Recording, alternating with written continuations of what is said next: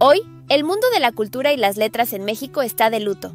Ernestina Sodi Miranda, historiadora del arte, escritora y periodista, falleció a los 64 años, tras días de hospitalización por un infarto. Su legado es notable en la academia, literatura y cultura nacional. Una vida plena, a veces marcada por adversidad, describe a Ernestina Sodi. Madre de Camila Sodi, sufrió un secuestro en 2002 junto a su hermana Laura Zapata.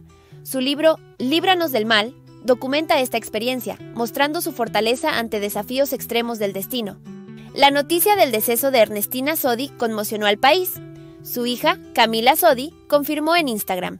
Ernestina Sodi, mi mamá, abuela de mis bebés, noviembre 8, 2024, descansa en paz. Ella fue un pilar familiar y referente cultural mexicano de gran importancia. La familia Sodi, sinónimo de cultura en México, despide a uno de sus miembros ilustres. Desde Thalía, cantante internacional, hasta Camila, cada Sodi destaca en arte y academia. Ernestina dejó huella literaria y cultural significativa en México, inspirando a generaciones. Recordamos a Ernestina Sodi desde sus inicios hasta convertirse en una voz literaria mexicana.